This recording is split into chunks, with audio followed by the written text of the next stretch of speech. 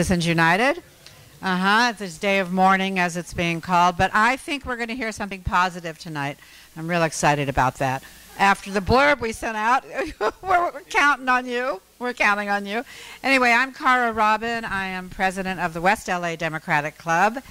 And uh, this is our first um, gathering together of our club and in concert with three other Democratic clubs. Uh, we have the Culver City Democratic Club with Sylvia Moore, president.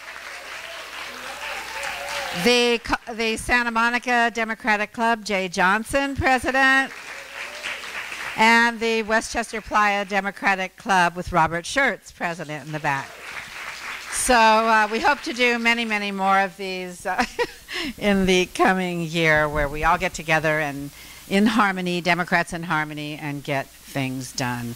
Um, I'm sure you all heard the State of the Union yesterday, and what can he do? You know, we're trying, okay? We're trying. And uh, as Lance, where is Lance? Lance said at least there was uh, an environmental push. At least he got the environmental community to think about getting together, right?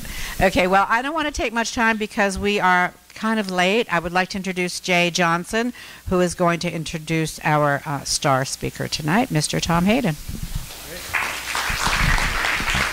Hi, Tom. Good to see you. National treasure. That's the word I use when I think of Tom Hayden. He truly is one of our national treasures. To those of you and many in this audience have followed Tom really most of all of our lives because Tom himself has dedicated his life to, really to the progressive causes that we all stand for. Starting with the SDS movement back in the, I was going to say late 50s, but in the 60s, leading up to the uh, Democratic Convention in 68 in Chicago that you well know. I know. I know it's a Freudian slip, so I know it was in the 60s. So we're talking about the uh, uh, Democratic Convention in Chicago that many of you recall, to the Coalition for Economic Survival and the work against the Vietnam War that the CES had put together. Tom, as you might have known, uh, was a candidate for United States Senator, getting 40% of the vote in the state of California. He was elected to the Assembly and served in the Assembly, I think, for eight or 12 years and had many, many pieces of legislation passed by the House and the Senate in Sacramento. He ran for the City Council of Los Angeles and was narrowly defeated in the City Council race when they mysteriously could not find the votes for his home precinct, so which would have been the deciding factor. He's committed himself to issue after issue, whether it's a question of uh, nationalist interests in in uh, Ireland, whether it's the, the latest issues regarding what's been going on in Cuba. Tom has been involved in all of these things to this day, and tonight he's going to share his views on the climate and other key factors. Please welcome our national treasure, Tom Hayden. Thanks, Jay. Um, I'm, I'm so sorry to be late. I thought it was across the street from our office. Um, and then I thought, was, I didn't know where it was. And I kept seeing people walking toward me who looked at me strangely. And I said, Where are you going? And they said, Where are you going? So here we are. Um, I um, uh, have a, a, second apology to make. I don't know if this PowerPoint uh, presentation that I uh, planned can be uh, implemented. Of course, I know it by heart, but uh, it would be better to have the PowerPoint. Is it a yes or no there, gang? Okay. So, um, this, uh, this introduction by my old friend Jay does make it sound a little like I hop from issue to issue don't we all? Um, but there is kind of a through line uh, that brings us to the orbit of the Democratic Party, and that is the long uh, quest for social equality and justice, uh, and for a government that is representative of the public interest more than the private interest, whether it's health care or education or access to opportunity. Uh, those are the issues. Um, and it's not been um, the um, history of either party including the Democrats, to put the environment at the uh, forefront. Um, it could be because the uh, uh, environmental issue itself remained somewhat marginal in the land of the um, transcendentalists in the 19th century, some of the Native Americans, uh, because of the nature of our conquest and expansion of the uh, continent, it didn't appear that natural resources would be an issue.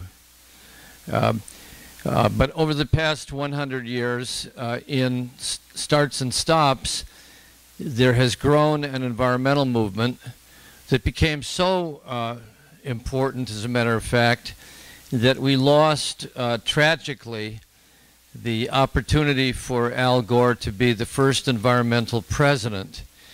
Uh, it doesn't it doesn't mean we can look back uh, uh, and, and, dream of things that we'll never know. But he did write a very good book, especially for its time. He was very committed, morally as well as politically. He had a blueprint for action, and he had an election stolen from him. And uh, most Democrats were united in uh, fury at the um, the loss of the election to the uh, Republican-appointed Supreme Court. But I don't remember uh, uh, very many people saying we just lost a chance to take the necessary steps to save the environment.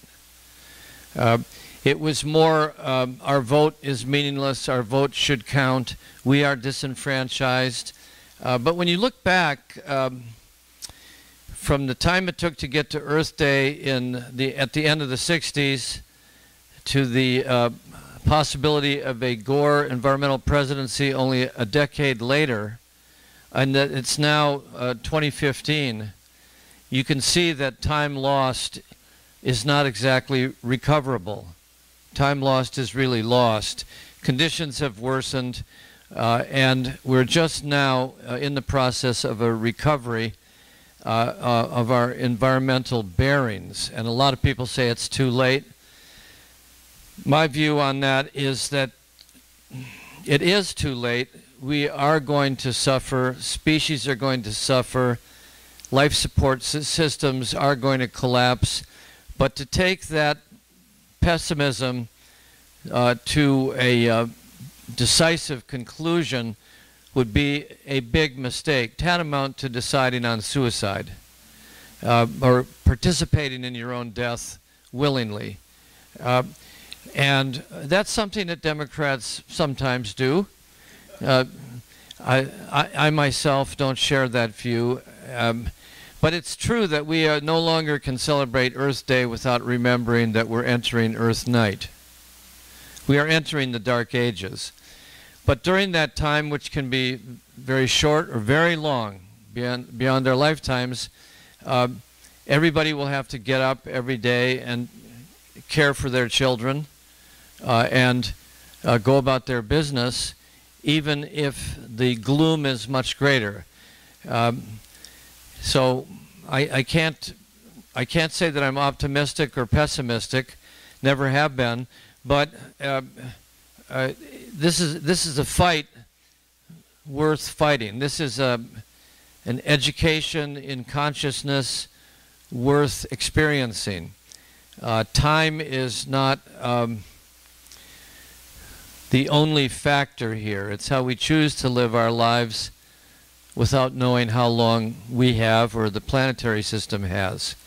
And there can be a danger in gradualism uh, on the one hand, and there can be a great danger in extreme pessimism and uh, apocalyptic thinking. So, with that as a pretext, uh, sit back.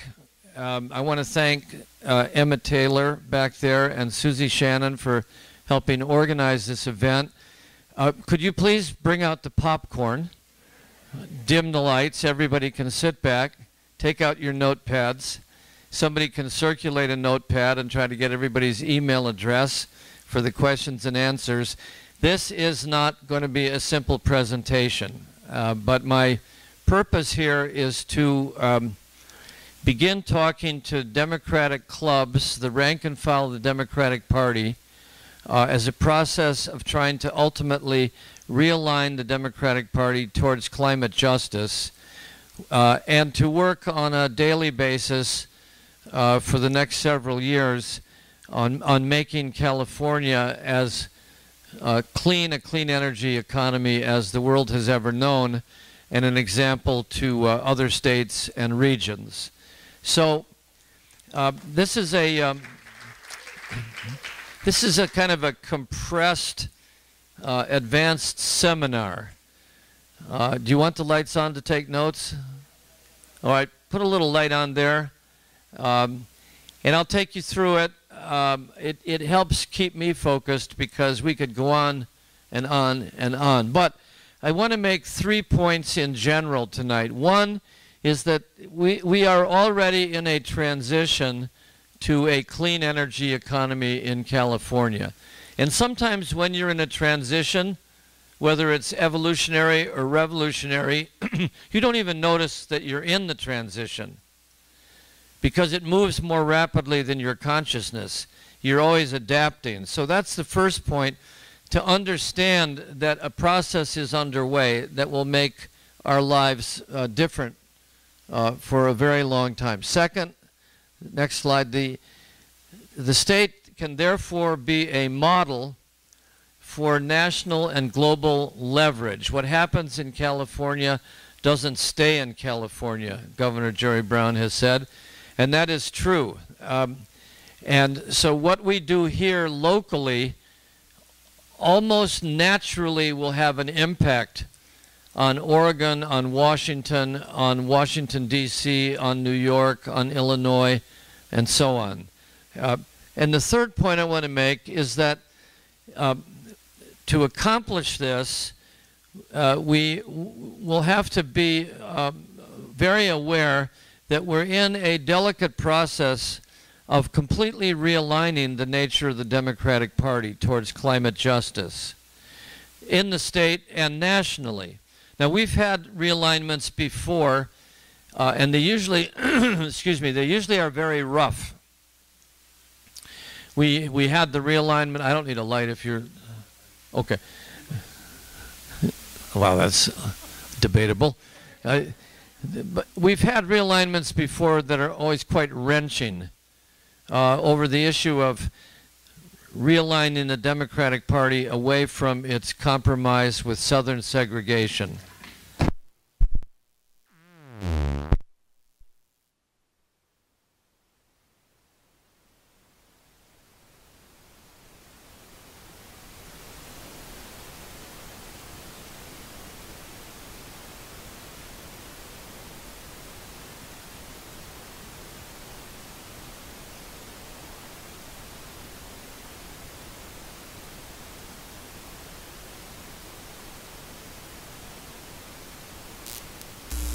Sound anything. Thank you very much.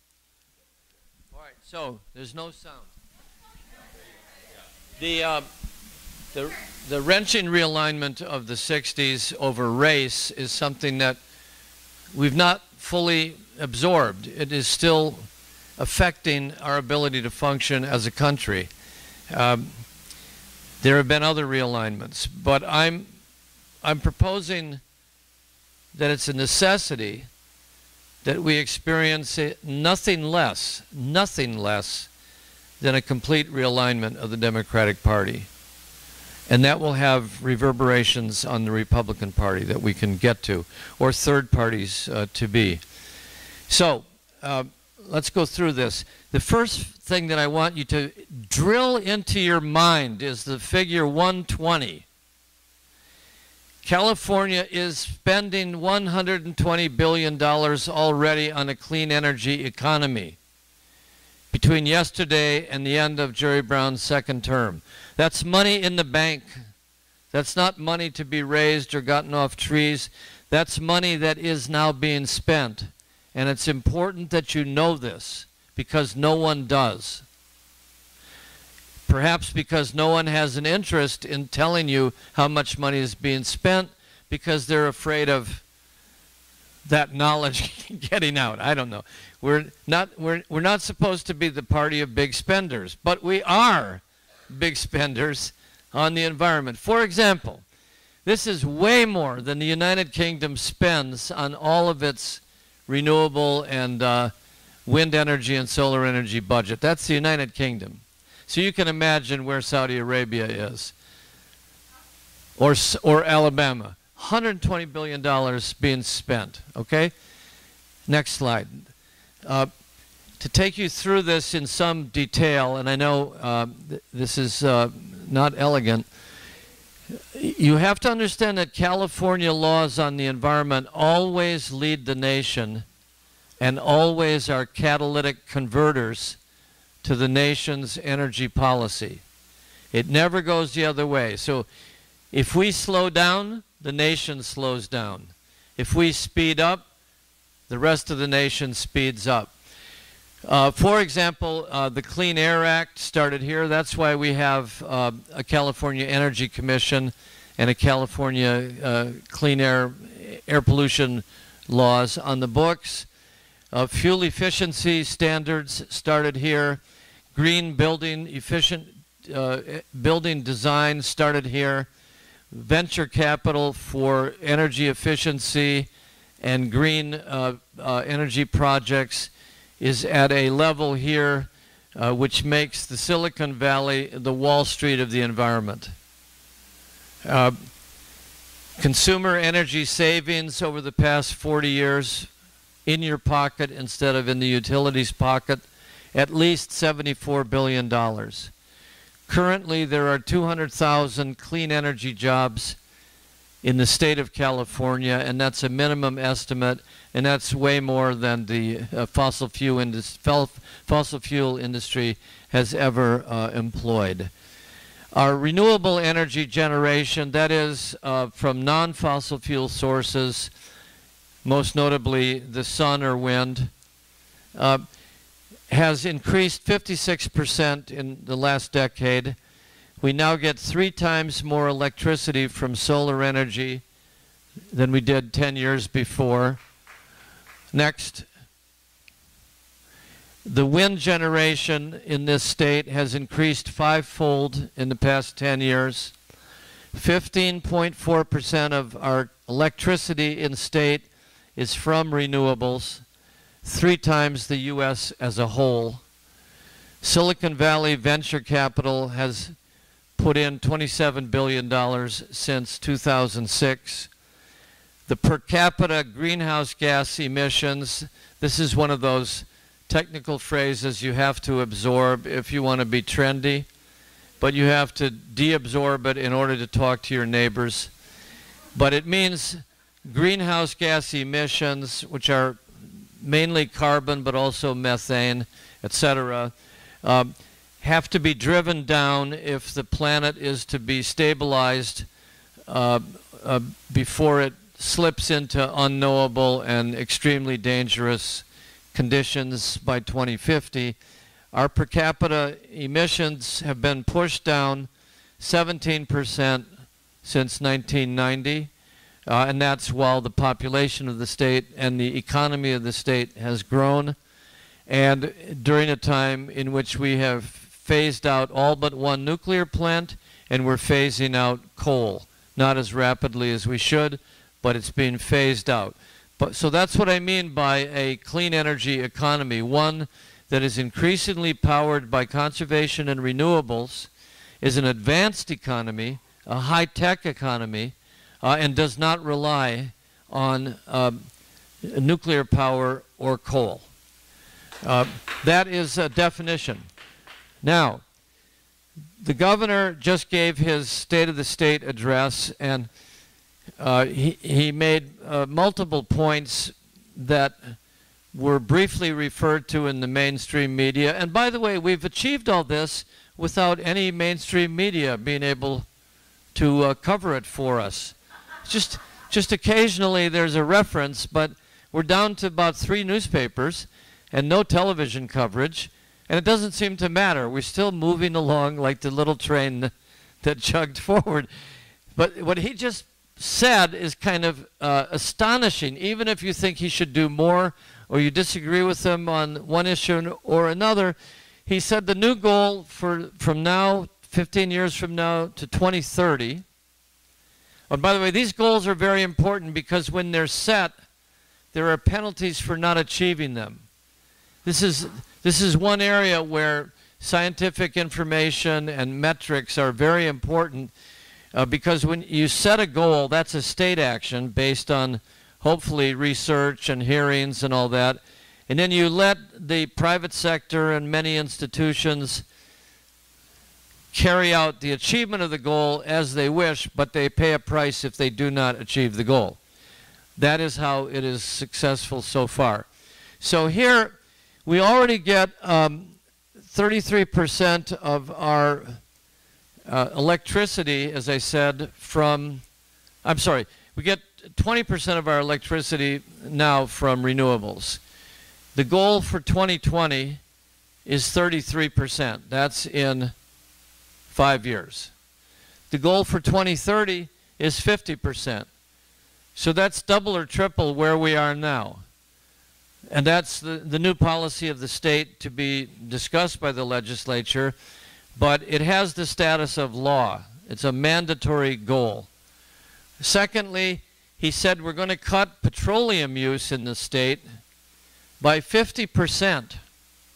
We're going to cut petroleum use in half by 2030.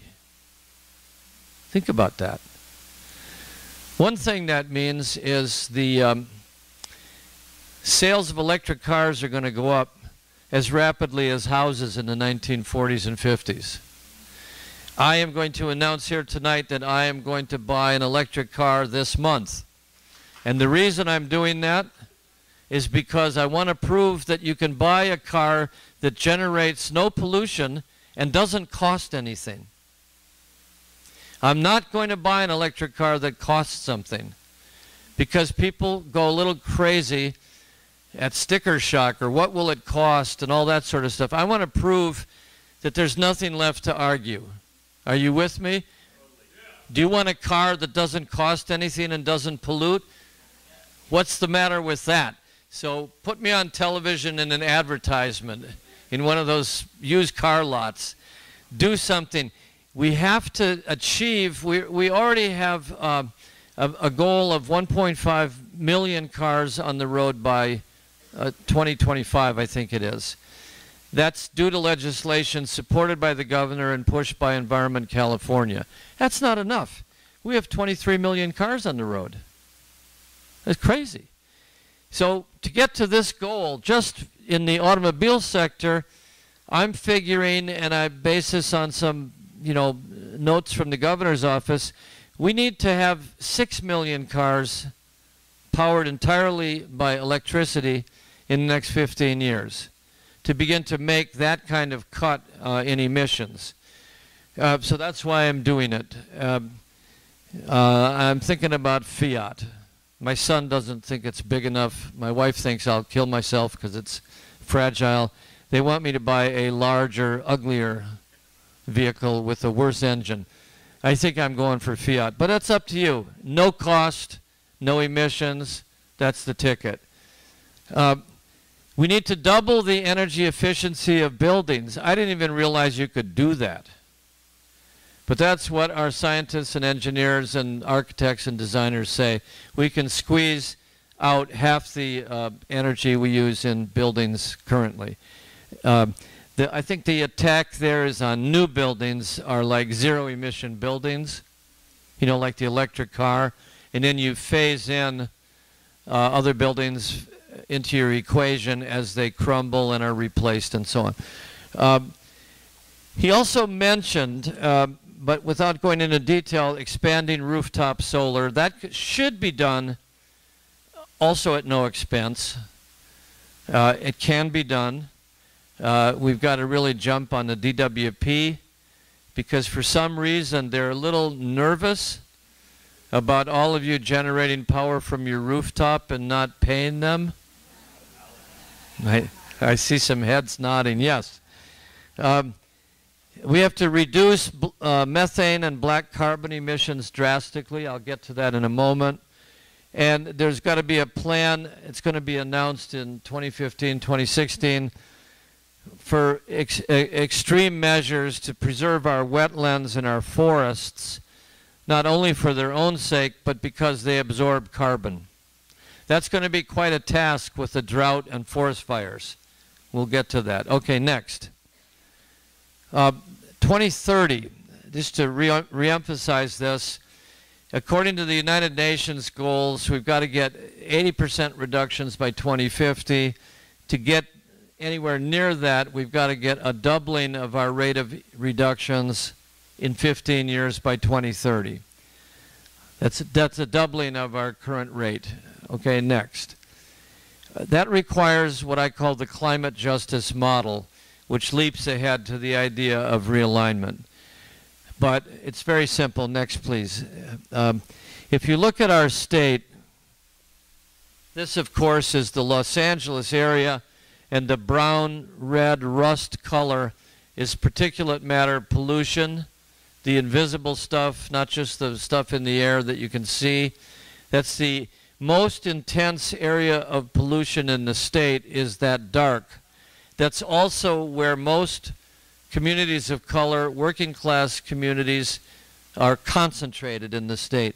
If you look at it statewide, you see in the valley below Sacramento, down through uh, Bakersfield, Kern County.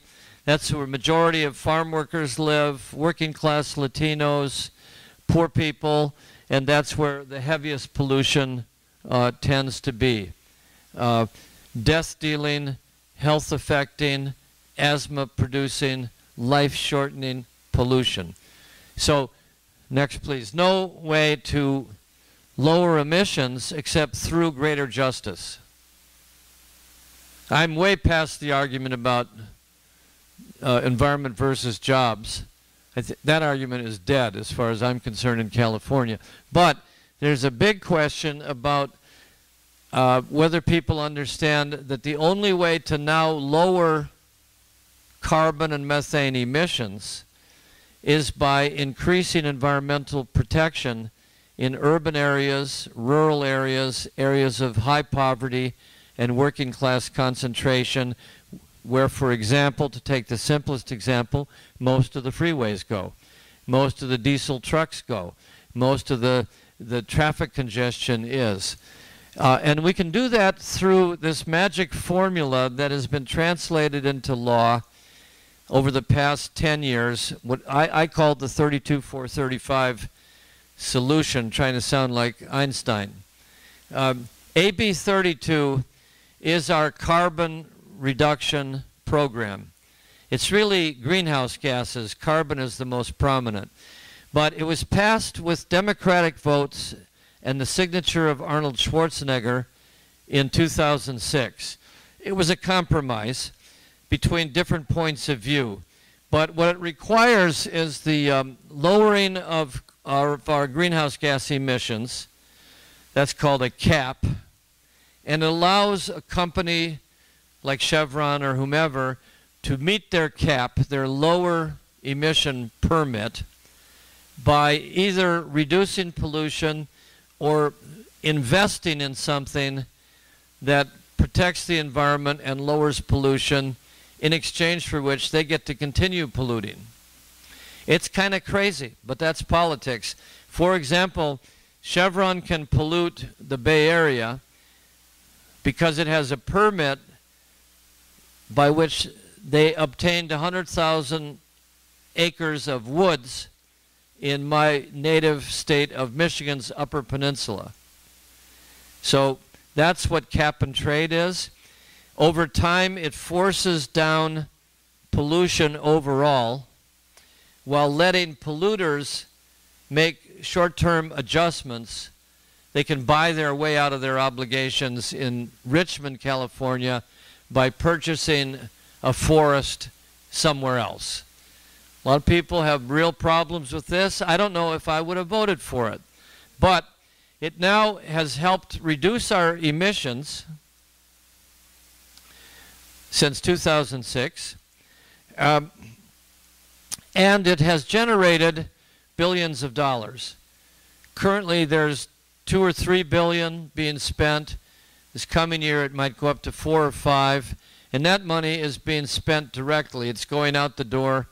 It'll be debated by the legislature, but it has to fall within certain criteria, which takes us to 535, the other half of the equation. 535, passed by Senator De Leon, signed last year after a five year debate, says any cap and trade program, any AB 32 program, any program to reduce greenhouse gas emissions must include co benefits for disadvantaged communities. That's a way to capture the windfall or capture the money from cap and trade and make sure that it's reinvested in areas that have the hardest time economically, have the greatest uh, levels of um, uh, serious health problems, uh, birth defects, lack of hospitals, that sort of thing. So that's a, we now have a requirement, and there really has not been a big controversy about it, to go ahead and reduce pollution by increasing the well-being of people in inner cities, communities of color, people that live alongside freeways, people in poor areas. I know you don't know this is happening because there is no way to find out. There is nothing about it in the newspapers. You only have my word. I'm like the guy that's come from another continent to tell you what I've discovered over there. So remember it well because you'll never read about it. And it's extremely important, don't you think? Okay, next. Uh, th- now, there are some challenges here um, that uh, have not been settled. One is you've heard about divestment. You know, divestment from Israel, divestment from tobacco, divestment from um, um, South African apartheid. I've been through it all. Uh, I know a lot about divestment politics, and what I know is that divestment, when it arises, is like a signal of things to come. And so we're at the very early stage of trying to divest from fossil fuels. That is, the, if you're a state employee, your pensions are supposed to be invested securely. If you're a University of, of, of uh, California professor, likewise, the state pension funds are in the many tens of billions of dollars. Uh, and they're it, it, kind of in the hands of the 1%, but they serve the needs of the middle class. Uh, and there, are always attempts to manipulate them. Uh, what's coming is a realization that investment in fossil fuels is a risky investment because they could be stranded assets in technical terms. That means someday, if it becomes more difficult or impossible to extract all the coal or gas or oil from the ground for all kinds of reasons, including environmental regulations, those assets that you've invested your money in become stranded. That is, they don't pay uh, a, a return.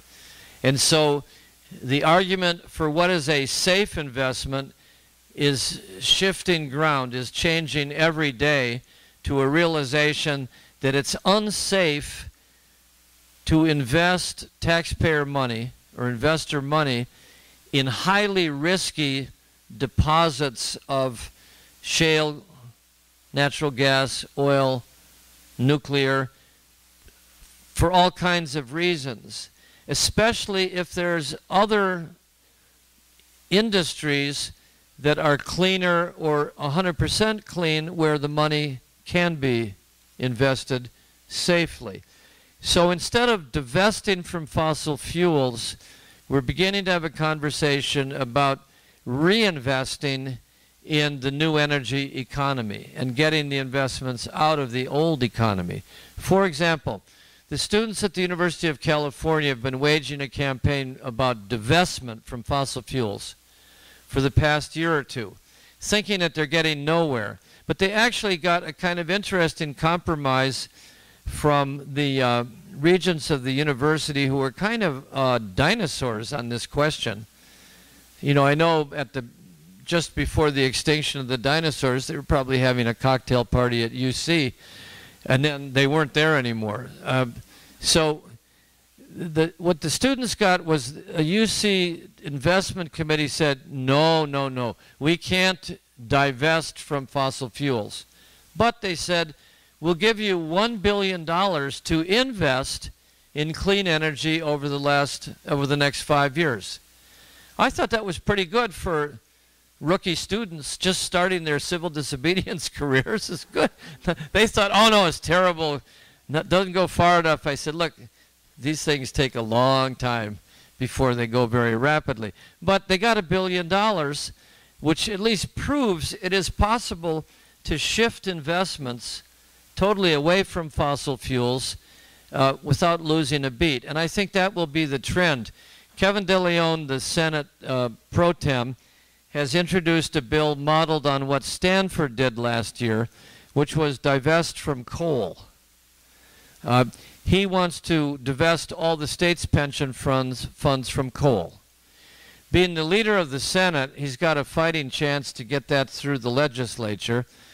I'm working with his office and the students to try to expand it to include a phased withdrawal from fossil fuel investments over a longer time frame than one year. He wants out of coal more or less immediately. We'll see how that goes. You know, it's tough to navigate the process, but that's one that you should really be paying close attention to because it's on the horizon. The stuff I've told you about so far is already happening. It's for you to direct it to the best outcomes. This is beginning to happen. This is Anne Stausboll with some of the students. She is the head of CalPERS, the State Public Employees Research. Uh, uh, what's the S? Retirement. Retirement what? System, right.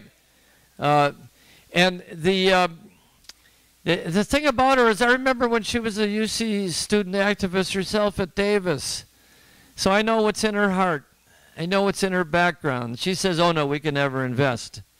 But she'll give you all kinds of advice about how to go about it if it's gradual and responsible.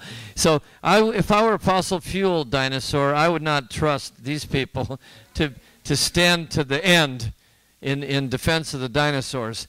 So the students there are working on her and talking to her, and she's very open, and it's, it's a fight. It's an argument, and the unions have to get into it. The state legislature has to get into it. Democratic clubs have to get into it. But it, it will happen. Too slow for all of us, probably, but uh, much too rapidly for the dinosaurs. Next. Uh, on fracking, I know there's been a lot of activists in the Democratic Party who are up in a uh, anger uh, towards the governor about fracking. So let me put this on the list of the to-do items.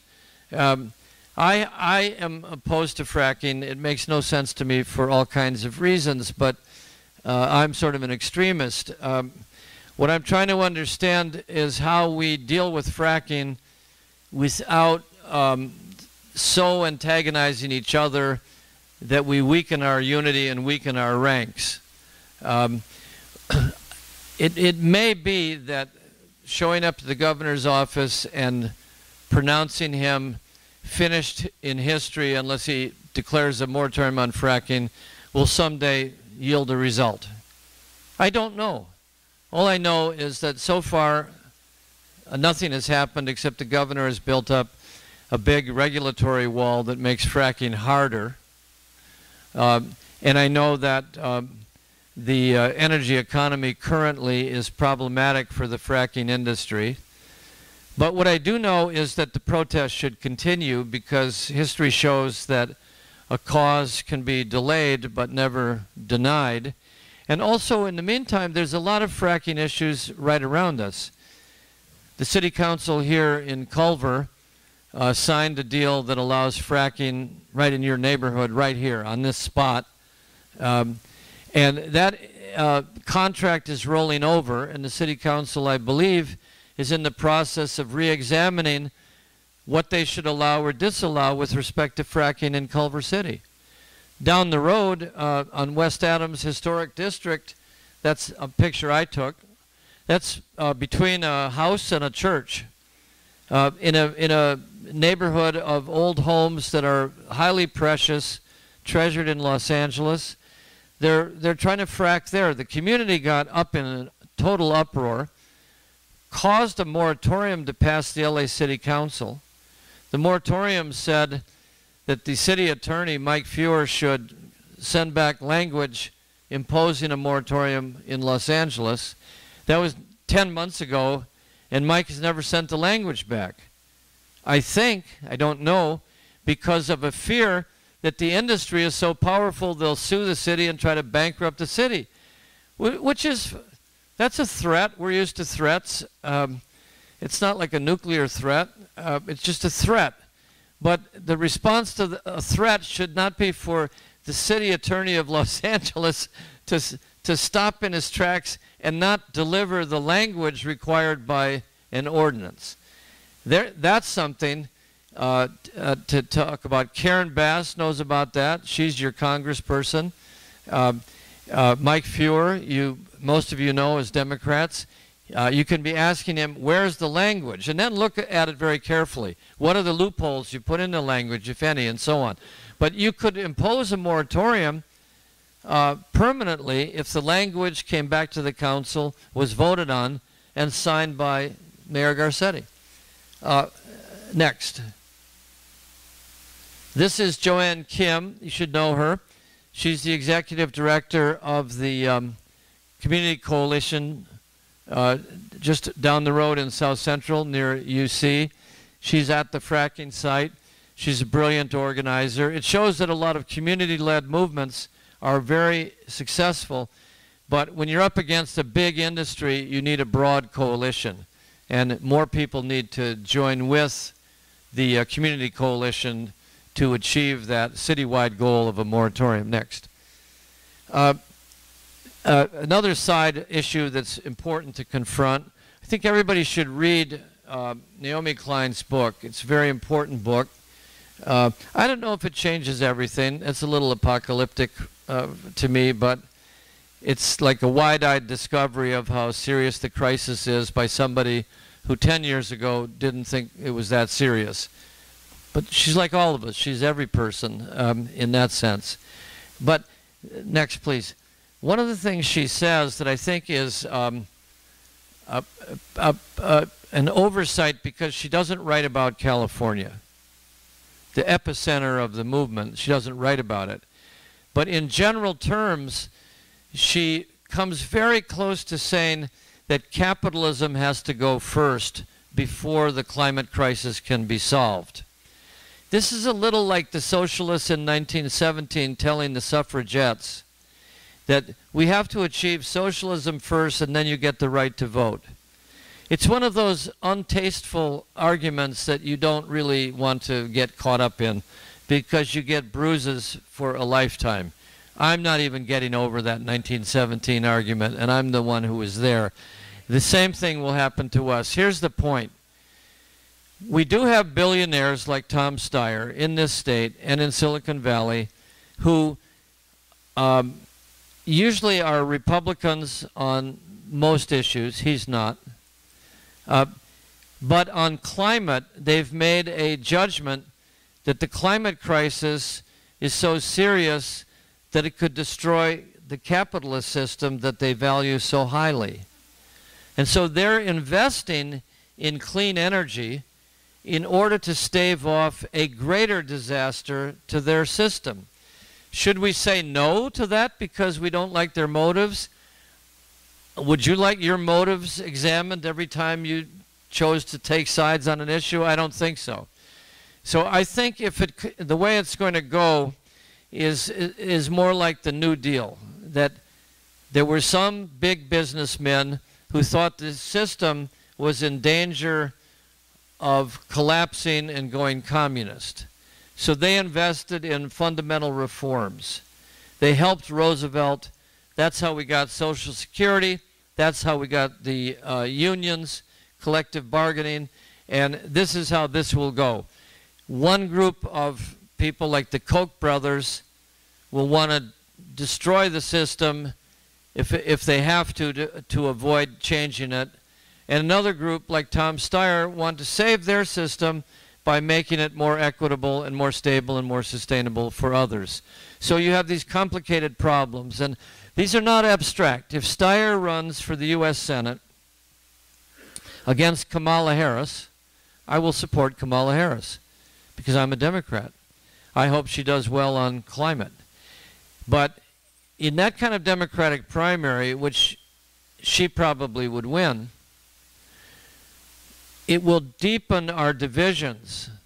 Women, people of color, etc., on one side, labor, and on the other side, big green organizations who are funded by Steyer, plus Steyer, plus some Silicon Valley people. Uh, it's not what we need at this time because he does very well for the environment by giving 50 or 100 billion, 100 million dollars every year to candidates. So it, it, some of this is managing the insoluble, learning to think through contradictions that you can't resolve in the short run. It, it's a problem to be managed and navigated, not solved by eliminating one side of the equation or another. So I'm for the green billionaires as long as they're green, and I don't mean money. Uh, next. California's diplomacy, um, you, you may be thinking, this is, a, this is a global crisis. How can California solve it? It's kind of like, I'm only an individual. How can I solve something in California? Well, there is no solution uh, uh, in one state. However, we're all aware that some cities like Los Angeles or San Francisco tend to pull California forward and other cities like Bakersfield tend to pull California backward. It's the same in the country or the world. So it, California is a leverage point, but California has to use its leverage. California Democrats have got to work with Democrats in other states using California as a model, and I'll tell you exactly why, to pull the country up. And we've already begun. Next, please. Um, Obama is very helpful because these two guys represent 40% of the emissions on the carbon emissions on the planet. And without them agreeing to a conceptual treaty of some kind to reduce emissions, slower, less than we need, but once that starts to move, it tends to gain ground. That's important. But Obama, as you may have noticed, doesn't have a, a Congress and maybe not even a Supreme Court to work with. So, out of necessity, we're back to old fashioned federalism, which was defined by Brandeis as the laboratory of the states. In other words, Obama needs Jerry Brown. Next. Uh, we already have a pact between California, Oregon, Washington State, and British Columbia. Uh, those three Pacific Coast states have 77 electoral votes. Uh, that's what we would call a low carbon to no carbon agreement, energy agreement among those three states. Next. In the Great Lakes, we have an another 71 electoral votes uh, in, in, in um, Illinois, Iowa, Kansas, Michigan, Minnesota, Wisconsin, with Manitoba connected as well, and with several observers. Next. In, the East Coast, New England, New York, it's very interesting. You have a greenhouse gas initiative that has Connecticut, Delaware, Maine, Maryland, Massachusetts, New Hampshire, New York, Rhode Island, Vermont, New Jersey was out, and now that their governor is running for president, New Jersey's back in shows that you can generate some pull on on uh, somebody like a Christie. Uh, and they have observers in uh, Pennsylvania, New Brunswick, Ontario, and Quebec. It's 114 electoral votes. California also has a pact, uh, a common market with uh, Quebec in uh, the cap and trade system. next, please. Now, what's left out here, but you can visualize this, California has um, low energy, no energy agreements with three states in China alone, whose population is larger than the United States. California has a pact with um, Germany, uh, which is the only country slightly farther ahead than California. California has similar pacts with 10 or 15 other countries, and they're assembling a coalition that I call a Clean Energy Coalition to press their argument at the, at the international talks this December uh, in Paris, where an agreement will be reached or not reached. If it's reached, that will be historic. It will be small compared to what we have to do, but the alternative would, would be to reach no agreement and the world would fall into complete energy chaos. So California can play a pivotal role, and you can play a pivotal role right here in your chair. If you influence California, California influences the country, the country influences the UN talks, the UN talks result in an agreement. You may not know this, but most of the energy activists and environmentalists on planet Earth look to California for leadership and look to Jerry Brown. There's only one person more important than Jerry Brown in the world Pope Francis, in their view, who has just declared that all creation is holy and it, it's a sin to desecrate it, and pollution falls most heavily on the poor. So Francis is on board with AB 32 435. Apparently, he's read the he's read the, the talking points, but I can see the um, if the Cuba talks were were monitored by the Pope, why not the global climate talks? I think that's going to happen this December. So now the final point, um, or close to the final point, why the Democrats have to become a party of climate justice. Next, please. Um, our majority in California would be environmentalists plus environmental justice plus healthcare plus labor plus green entrepreneurs versus fossil fuel polluters, climate deniers, and the Republican Party with its big money. That's about a 55 45 division.